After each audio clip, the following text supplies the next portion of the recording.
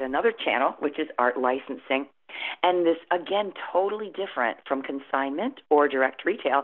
This is a licensing, which is a royalty uh, um, type of income, and it's a contractual arrangement with a licensee giving them permission to use your images on products that they're going to be selling into the marketplace.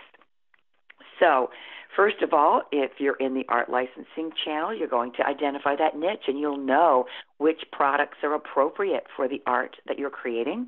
And you're going to build that licensing based portfolio that's going to show your work beautifully and that relates very strongly to the needs of your customers and prospects and you're in the meantime going to be looking at a prospect list of agencies possibly, or licensees. What's the difference here, real quick? If you didn't hear my special session with uh, Daniel, where I went into um, each channel, you could be prospecting for manufacturers who you will be submitting your work to, and they might be putting your work on fabric or stickers or dinnerware or backpacks or you know any type of product out there, surfboards, whatever.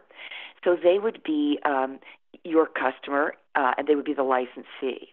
And um, I do have a list of manufacturers, um, and I, it's, I believe it's 13 pages long. It's a long list, and these are manufacturers who accept submissions for from artists who would like to license with them. And at the end of this presentation, I'm going to share you a link with you, and that will give you free access to this list. The list is not that current, so there may be some that don't apply, but if you're interested in licensing, you know, there's your prospect list. Agencies are representatives that work with the artists and also with the customers, and they will help you uh, as your agents locate customers, negotiate, sign contracts, and so forth. And they'll take half of your royalties. So, in a sense, they do act like a gallery does in an agent type of a role, but you know they would be an, another uh, kind of a, a middleman if you're licensing.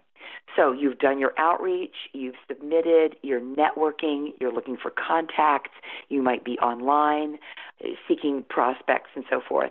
You've made contact and you're following up. Again, you know, we see the same type of thing in the B2B um, world that we're seeing with the lic- with the licensing and the galleries.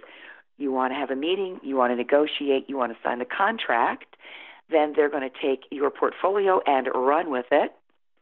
You're going to end up looking at the sales volume. This is a longer sales cycle because licensing can be 18 months out, but you're going to be looking at your quarterly royalty income and determining is this a good match for me? How is this working out? What changes would I make going forward? And so forth. And that's where your decisions will be made.